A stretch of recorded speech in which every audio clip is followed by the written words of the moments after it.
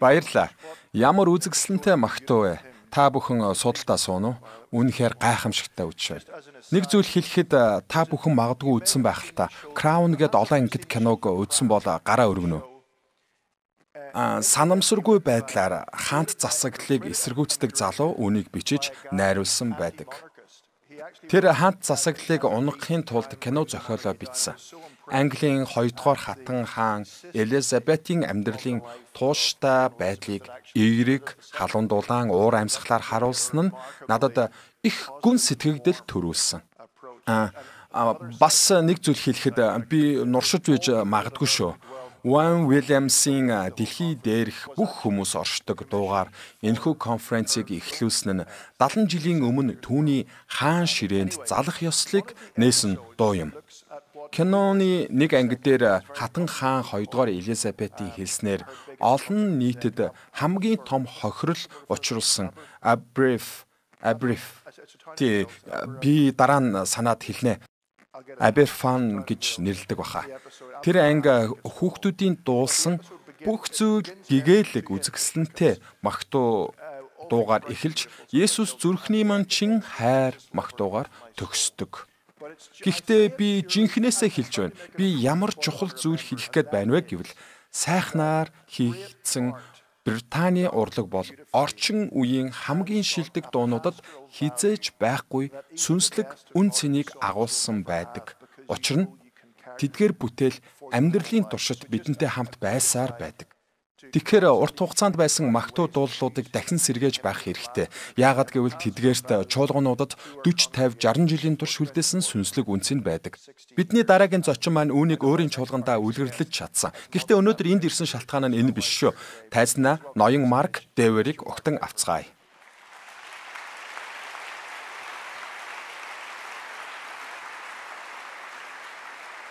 Баярлалаа Марк. Энд байгаад тань баярлалаа. Энд суучих уу? Тэгэхээр надад энэ микрофон хэрэгтэй үү те? Аа за. Олон шалтгааны улмаас өнөөдөр таны энд байгаа нь маш нэр төргийн хэрэг болж байна. Их сургуулийн хүнд хэцүү үеүүдэд минь миний найз Энди Уэнтер тэр үед намайг теологоор нүдүүлж байх үед санаа тавьж бидэнд хамт өглөөний цай уух санал тавьж байсан. Нэг өглөө тэр байж болох бүх эрүүл бус хүнсийг нийлүүлж нийлүүлж хайруулын тавганд хийж орхиод тэр нь галтгоонд л үлдсэн дээ. Тэгэхэд э, та намайг Пит Уильямстай танилцуулж байла. Тэр их онцгой сайхан цаг мөч байсан шүү. Олон жилийн турш та бидэнтэй ганцаарчилж уулзах цаг гаргаж бас өөрийн саяхан дууссан T4G сайн мэдээний төлөө хамтдаа байгуулгын ажилд биднийг урьж оролцуулж байсанд бид талархдаг. Түүний хийсэн ажлуудад бүгдээрээ талархлаа илэрхийлцгээе.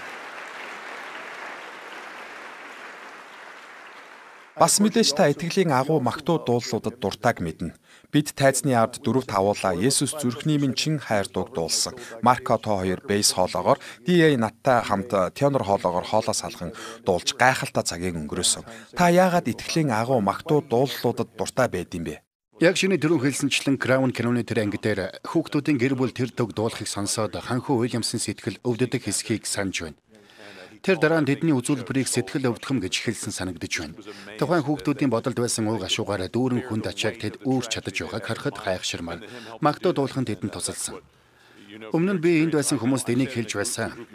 Хинч өглөө хүлээгээд хэвдэх үедээ миний номлол дээр хэлсэн үгсийг санахгүй. Харин сэтгэл минь амгалан Есүс бүгдийг төлсөн. Эсвэл Есүс зүрхний минь чин хайр дууны үгийг санах болно. Бурхан эвэлэрэ бидний ой тогтоолтод үгсийг үнэн үгсийг дуу хөгжмөнтэй хамт өгсөн байдаг. Бидний тарих тэгжил ажилдаг. Эзэн биднийг тийм байдлаар бүтээсэн. Та өөрийн Capitol Hill баптист чуулганд маш олон сонгодог магтуунуудыг танилцуулж байсан. Тийм биш гэж юу? Тийм ээ. Гайхалтай хариулт байна. Баярлалаа. Үнэхээр мэдвэштэй юм. Баярлалаа. Аа, энэ ярилцлага бүхэлдээ ийм байх болно гэж. Надад ийм ярилцлагууд их таалагддаг. Өнөөдөр өглөө Archbishop Polly үйлчлэлийн хэв маягийн талаар ойлголт өгсөн. Paul Tripp хувийн залбирлын талаар ярьлаа. Харин доктор Карсон зарим Библийн зарчмын талаар бидэнтэй хуваалцсан. Майкл Оу дэлхийн төлөө залбирах талаар ярина. Гэхдээ бид өөрсдийн чуулганы үйлчлэлээ дүгнэн харахыг хүсэж байна. Бид ямар нэгэн сүмийн ёслол, дуу зохиогч эсвэл номлолын талаар ярих гээгүй. Хүн бүр хийдэг бүхнээ давтан хуулбарлан хийх шаардлагатай тулгардаг. Инхэн хин хүнд эрүүл зүйл биш ч бид үүнийг маш сайн үйлдвэрлэдэг хүмүүсээс суралцахыг хүсдэг. Би танаа чуулганы үйлчлэлд очиж үзсэн. Надад үнэхээр таалагдсан. Маргарит 10 жилийн турш тантай хамт байна. Та нэм гаргийн үйлчлэлийнхээ залбирлын цагуудыг хэрхэн төлөвлөдөг вэ? Хамгийн түрүүнд өглөөний үйлчлэлд залбирал заавал багтсан байх ёстойг хэлхэн зүйтэй байх. Залбирлын цаг бол хөгжимчд дуу хооронд шилжилтээ хийхдээ ашигладаг зүйл биш. Тийм үстэй. Залбирал залбирлын дундуур дууны шилжилтээ хийх нь буруу гэж би хэлээгүй. Алхаж байхдаа ч залбирч байж болно. Гэвч залбирал бол бидний шиг пастор удирдагчдын үндсэн үүргүүдийн нэг юм. Үйлс 6 дээрх элч нар шиг бид өөрсдөө залбирал болон үгийн үйлчлэл зориулдаг. Нэг зүйл сонирхоод асууя. Та бүхний хідэн чуулганыхаа нэм гарагийн үйлчлэлийн төлөвлөгөөг гаргах үүрэг хүлээдэг вэ? Хэрвээ та ийм үүрэгтэй бол суудлаасаа болсон уу? Нэм гарагийн үйлчлэлийг төлөвлөдөг. За. Та нар олуулаа юм аа. Гайхалтай. Тэгэхээр Та бүхнийг төлөвлөгөөнд залбирах цаг оруулж байгаарай гэж урамшуулмаар байна. Ингэж хэлэх нь тэнийг санагдаж байгаа байх. Мэдээж та бүхэн залбирдаг л байж таараа. Тэгэхдээ сүм чуулганууд дээр очихоор намайг гайхшруулдаг зүйл нь ойролцоогоор 60 минут эсвэл түүнээс урт үйлчлэл байлаа гэхэд Эхлээд цөөн хэдэн зарлал яваад дараа нь ойролцоогоор 30 минутын магтаал, 30-аад минутын номлол. Тэгээд л ер нь болчихдог. Би та бүхнийг нэм гаргийн үйлчлэлдээ ганц хоёр өгүүлбэрээс илүү хугацааг залбиралд зориулаасай гэж хүсэж байна.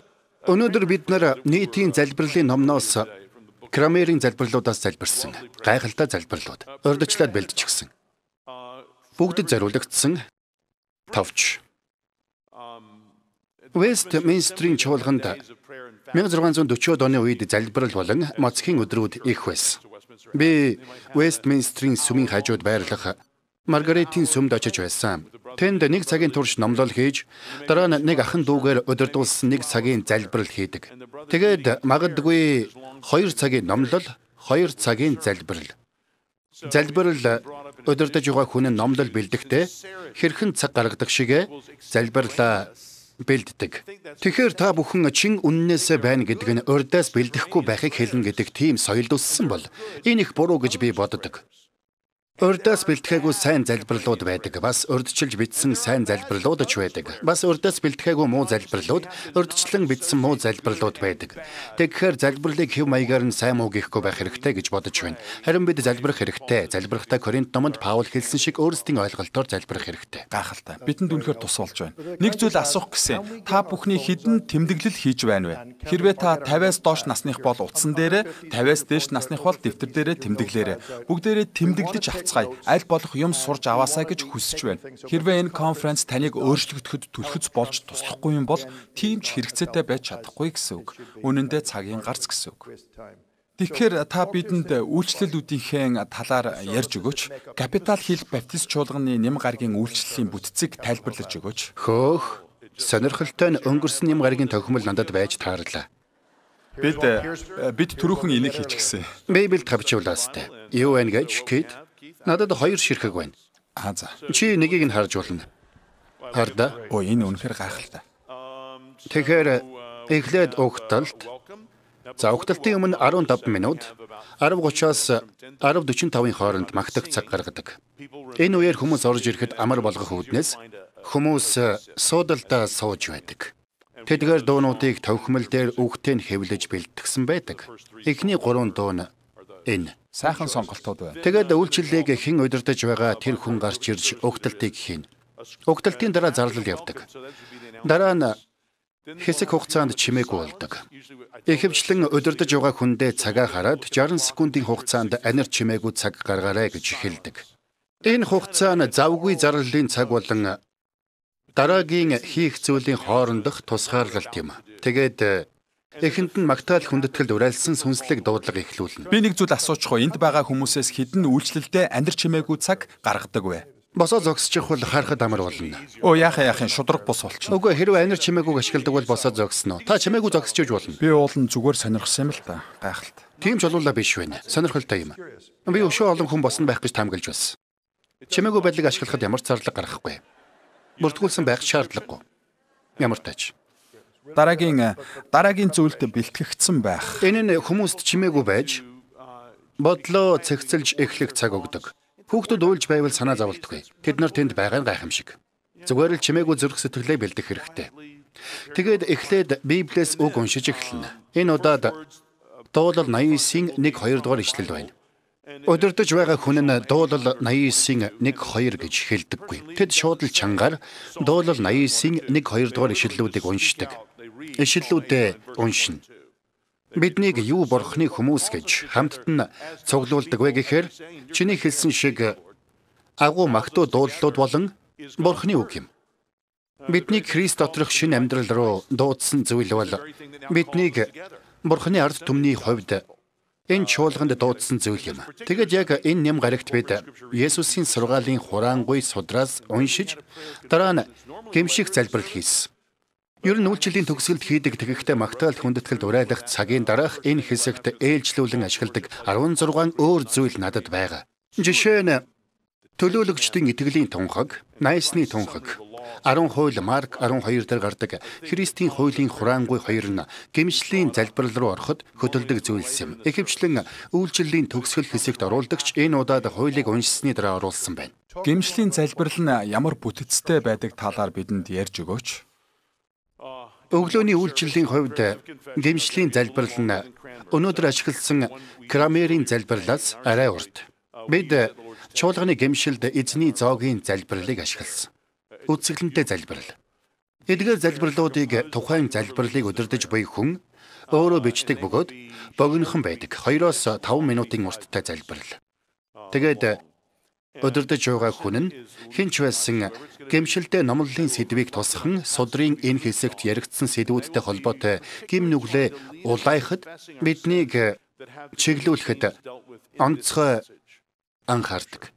Тэгэхээр бүр ихнээс нь чуулган хамтдаа тухайн өдрийн номлолын утга санааг үйлчлэлийнхээ төв болгох байдлаар үйлчлэлээ төлөвлөдөг. Чуулган гим нүглээ улайх зааварчилгаа авна өршөөл ирэх биш. Харин залбирлаар дамжуулан гим нүглийн ачаануудаа түүний өмнө тавих зорилготой. Эзэн бид хитрхи олон удаа буруу зүйл хийжээ. Бид үүнийг хийсэн. Бидний нь саяны 7 хоног ажил дээр ийм зүйлийг хийсэн. Эзэн бид хитрхи олон удаа ийм зүйл хийсэн гэдгийг хүлээн зөвшөөрч байна. Мөн Бурхан бидний гим нүглийн талаар юу гэж хэлдэг тэр зүйлсийг хэлэх хэрэгтэй. Хамгийн төгсгөлд нь Эдгээр зүйлс болон бусад үйлдэлсэн гим нүглүүдийг маань уучлаач. Есүс Христийн нэрээр. Амен. Бидэнд үнэхээр тус болж байна. Баярлалаа. Тэгвэл судар дээрх уучлалын баталгааны талаар ярилцгаая. Тийм ээ, бид үргэлж ямар нэг ишлэл дээр суйрлахыг хичээдэг. Надад чуулганыхаа үйлчлэлийг төлөвлөгтөө ашигладаг загвар бий. Яагад гэвэл Тэр э, төлөвлөгөө гаргадаг хүн нь би учраас надад ашигладаг хэд хэдэн өөр уучлалын баталгааны ишлэлүүд байгаа. Ээлжлээд ашигладаг. Энэ удаад бид Галаат 4-ийн 4-өөс 5-ыг ашигласан байна. Ягаад гэвэл ийм үгсийг сонсох нь бидэнд тустай байдаг. Бид бурхантай бизнес хийж байгаа юм шиг сүнсэндээ зориулж худалдан авалт хийх өдөрт ирсэн байна. Эзний хүмүүсийн хувьд Тэгээд бид бурхныг сонсохыг хүсэж байна. Бид өөрсдийгөө гимтэй гэдгийг хүлээн зөвшөөрөө зогсохгүй. Христийн нэрээр нүглийн уучлалыг гуйж тэр уучлалыг авсан баталгаагаа түүний үгнээс авдаг. Тэгэхээр бид үгээр дамжуулан уучлалын баталгааг авч чуулганыг урамшуулах зорилгоор үгийг уншдаг. Магдалины залбирлын талаар бидэнд ярьж өгөөч. Танаа чуулганы үйлчлэлийн дараагийн залбирал. Эхний магдууны дараа зөвхөн Христ дотор дуугдуулсныг сайхан сонголт байв. Би сая анзаарлаа. Сайхан сонголт. Аа Тэгээд түүний өршөөл Левих тэгээд Христэнд үрд минийх байх болон дуунуудыг дуулсан байна. Бүгд энд байна. Гайхалтай. Нэг зүйл асууж болох уу? Энэ тохиомлын зургийг аваад хүмүүст явуулж болох уу? Энд байгаа хүмүүст конференцийн дараа өгч болох уу? Тэгэхээр надад байгаа энэ материалыг энд байгаа бүх хүмүүст явуулах болно. Тэгснээр та бүхэн энэ чуулганы хэв маягийг харж болно. Болж байна уу? Бид явуулнаа. Тэгээд Магдалины залбирал орж ирнэ. Бид 3 магтууд уулсан. Бид зогсоод 3 магтуудыг дарааллуулан дуулсан. Тэгээд Магдалины залбирал эхэлнэ. Гэмшлийн залбиралыг бодвол арай урт үргэлжилдэг. Гэмшлийн залбирал нь 2, 3 эсвэл 4 минут байдаг бол Магдалины залбирал ихэвчлэн 4, 5 эсвэл 6 минут үргэлжилдэг. Дахиад сударт буй түүхүүдээс нэг сэдвийг сонгож аваад түүгээрээ бурхныг магтдаг. Магтахдаа бид энгийн нэг талархлын залбирал хийлгүүгээр бурхныг яг байгаагаар нь магтахыг хичээдэг. Талархлын залбирлууд гоё л доо. Бид түүнд талархахтаа ч дуртай байдаг. Гэвч бид түүний өгсөн бэлгүүдийг хүлээн аваад түүнд үгийнхэн төлөө зөвхөн талархаад зогсохгүй. Түүнийг ярьдаг амьд бурхан учраас магтдаг. Түүнийг хайр болон нэгүслийн бурхан гэдгээр нь. Бидэнд ойртон эрдгийнхэн төлөө Түүнийг тодорхойлдог үгсийнхэн төлөө бидэнд өгсөн зүйлсийнхэн төлөө талархдаг. Гэвч үгээр дамжуулан бурхан бидэнд өөрийнхөө талаар юу ойлгуулж байгааг анзаарах хэрэгтэй. Тэгээд түүнийг магтахыг хичээдэг. Би чуулганыхаа үйлчлэлийн төлөвлөгөөг жилд 3 удаа гаргахыг хичээдэг. Тэгэхээр 4 сарын зайтай гэсэн үг. Би 4 сарын хугацаанд теологийн сэдвийг давхцуулахгүй байхыг хичээдэг. Тэгэхээр байнга ижил зүйлээ оруулаад байдаггүй. За энд теологийн сэдвийг бичсэн байгааг харж байна. Гэт доод хэсэгт нь байгаа. Энэ өглөө бид дахин ирэх хааныг магтахаар цугласан байна. Тэгэхээр энэ сэдв 4 сарын турш давтагдахгүй гэсэн үг. Энэ бол гол зүйл. Хэрвээ та боломжтой бол бусад залбирлуудынхаа талаар бас ярьж өгөөч. Юу гэсэн бэ? Энэ энэ дараагийн залбирлын талаар тайлбарлаж өгч болох уу? Пастрын залбирал уу? Тийм ээ. Тэгэхээр нэг магтуу явсны дараа пастрын залбирал руу ордог. Ихэвчлэн хамгийн урт залбирал байдаг. Гуйлтын залбирал учраас пастрын хувьд энэ залбирал надад их үнцэнтэй. Энэ залбирлыг хийхгүй байх юм бол би номлохгүй байснаас бараг илүү чухал асуудал юм. Би энэ залбирлын үеэр л хүмүүст хамгийн түлхэц өгч илүү гүн зүйлс рүү ордог. 10-аас 12 минут орчим үргэлжилдэг. Би нас баралтын талаар, гэрлэлтийн талаар залбирч байсан. Хотын захирагчийн төлөө, Украины дайны талаар залбирч байсан. Үргэлж 2-оос 3 улс орны төлөө залбирахыг хичээдэг. Хавчигдаж буй Христ итгэлт хүмүүсийн төлөө, эрх баригчдын төлөө залбирахыг хүсдэг. Номлолынхаа гол сэдвүүдийг зуучлан залбирал болгон залбирахыг хүсдэг. Залбирлынхаа эхэнд болон төгсгөлд бусад чуулгануудын нэрийг дурдаад залбирдаг. Би Капитал Хил Баптист чуулганы пасторч гэлээ. Англикан сүмүүдийн төлөө болон Пресвитериан сүмүүдийн төлөө залбирах дуртай. Энэ цуглааны хамгийн чухал зүйл бол биднийг ахан дүүсээс ялгаж тусгаарладаг зүйл биш, харин бидэнд нийтлэг байдаг зүйлс гэдгийг хүмүүст ойлгуулахын тулд тэгдэг. Чуулганы хэв нэгдлийг харуулахын тулд та Грекийн Ортодокс эсвэл Ромын католик шашинтай байх ёстой гэсэн энэ үзэл санааг би зүгээр л худал гэж боддог. Би Миссуригийн Сенатын Лютеран сум, Англикан сум, Библийн сум, Үйлс 29-ийн чуулган, Евангелийн чөлөөт сум эсвэл PCA сүмд байхдаа ялгааг нь мэдэрдэгч намайг аварсан тэрл сайн мэдээ номлогдож байгааг би мэддэг. Тиймээс хэрв би өмнөд баптист сүм эсвэл Евангелийн методист сүмд байсан ч Христ дотор байгаа эв нэгдэлтэд баярлдаг. Үүнийг пастрын залбиралдаа тусгахыг хүсдэг. Гайхалтай. Үнэхээр хэрэгтэй зүйл байна. Тэгэхээр магтаал хүндэтгэлийн урайлга, гимшлийн залбирал, магтаалын залбирал, пастрын залбирал болон гуйлтын залбирлыг ярилцлаа. Пастрын залбирлын талаар хэлэх нэг зүйл яах вэ? Ихэвчлэн би энэ залбирлыг чиглүүлдэг. Хэрвээ би номлож байгаа бол Тухайн номлогч пастрын залбирлыг чиглүүлдэг. Зочин номлогч биш л бол. Тэгэд би ихэвчлэн ингэж хэлж эхэлдэг. Бид дуугаар бурхныг магтлаа. Залбирлаараа магтлаа. Бидний гмийн талаар хэлсэн зүйлсийг нь хүртэл хэлж түүнийг магтлаа. Харин одоо түүний өмнө гуйлтаараа ирж түүнийг магтацгаая. Бид түүнд найддаг. Тэр бидний тусламж, бидний хорогдох газар гэдгийг бид мэднэ. Мэддэг гэдгээ түүнд харуулдаг. Түүнээс хамааралтай гэдгээ бид бурхныг итгэмжтэй гэдгийг харуулж түүний өмнө очиж гуйлтаараа хүртэл магтдаг. Хамгийн хэцүү зүйлсийг түүнтэй хамт даван туулж түүнийг итгэмжит гэдэгт итгэлтэй байгаагаараа магтдаг. Тиймээс бид түүнд алдрыг авчирдаг. Яг л дөрөв настай хүүхэд тань ирээд таныг өөрт нь өгнө гэдэгт бүрэн итгэлтэйгээр ямар нэг зүйл гуйхтай адил. Бид ирж залбирахдаа Бурхны талаар тийм итгэлтэй байдаг. Гайхалтай. Баярлалаа. Тийм ээ. Би та нартай санал нийлж байна. Тийм ээ. Амен. Баярлалаа. Тэгэхээр чи энийг залбирлын бохир заван хэсэг гэж бодож болохгүй. Зуучлан залбирал бол тийм биш. Энэ бол залбирлын гайхалтай хэсэг.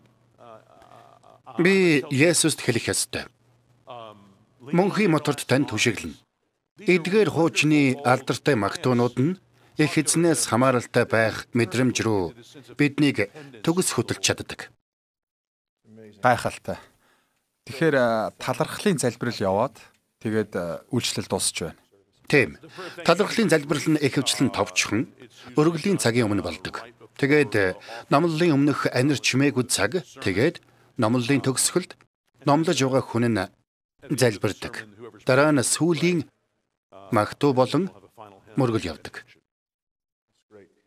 Бид ихэнхдээ 2 дугаар Коринтын сүүл хэсгийг ашигладаг. Гэхдээ зөндөө гоё ашиглаж болох ишлэлүүд байгаа. Та бидэнд маш их тус боллоо. Энийг хүмүүст явуулнаа. Аа бас тэгээд танд өөр санал болох номнууд байгаа бол тэд нарыг ч бас явуулнаа. Үнэхээр гайхалтай биш гэж юу?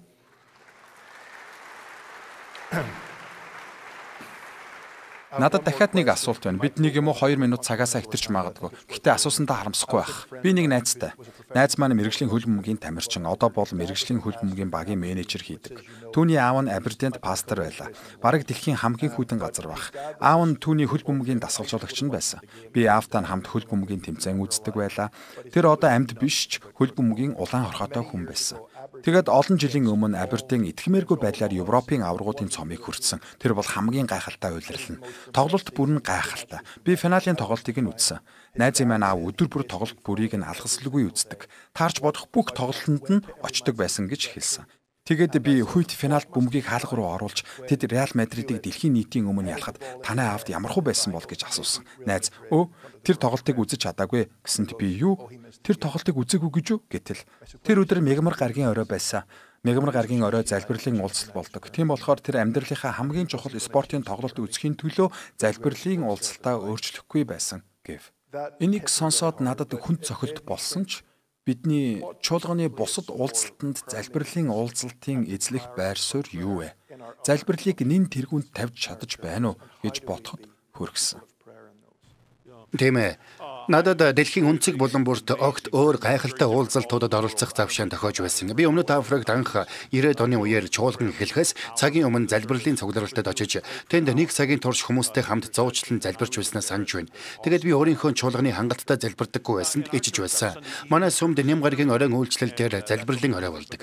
Гэхдээ жаахан өөр. Ягаад гэвэл бид 5, 10 эсвэл 15 өөр зүйлсийн талаар залбирдаг. Зарим өөр зүйлс гарч ирнэ. Зарим хүмүүс Мөн пастрын хувьд би чуулганы хүмүүсээс олж харахыг хүссэн зарим үнэт зүйлс эсвэл шин чанаруудыг зааж сурахыг хичээдэг. Том шудраг нэрнгүй амьдралаар амьдрахын төлөөх залбирлыг чи чиглүүлэх үү? Сара энэ 7 хоногт бид хуршүүдтэй сайн мэдээ сайн тараахын төлөөх залбирлыг чиглүүлж өгөөч. Бил чи ахмадуудын төлөө мэрэгэн ухааны гойн залбирч өгч болох уу? Том эх 7 хоногт дээсэд болох уулзалтын төлөө эзэн биднийг хамгаалахын төлөө залбирч өгч болох уу гэх мэт.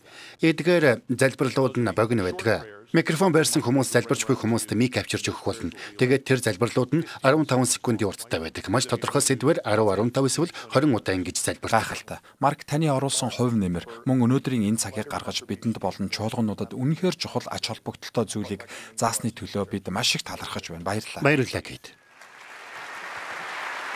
Thanks brother.